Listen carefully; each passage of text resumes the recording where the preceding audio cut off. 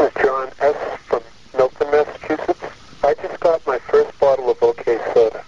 And I'm not saying it was him, but the guy who sold it to me looked suspiciously like Elvis. Hi, this is Ella from Lawrence, Kansas, and I was listening to the coincidences, and, and I heard my best friend. I mean, I lost her when she moved away in third grade. So, Jenny, if you hear this. Hi, um, my name is uh, Oscar, and my my my last name is Kelso. So my initials are OK. Uh, that's my coincidence. This is Jeremy S. from Cambridge, Massachusetts.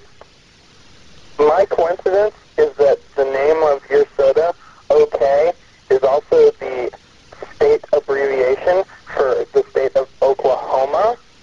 Um, and and I have a friend from Oklahoma. Hi, my name is Sam W. from Seattle, Washington, and my uncle works in this think tank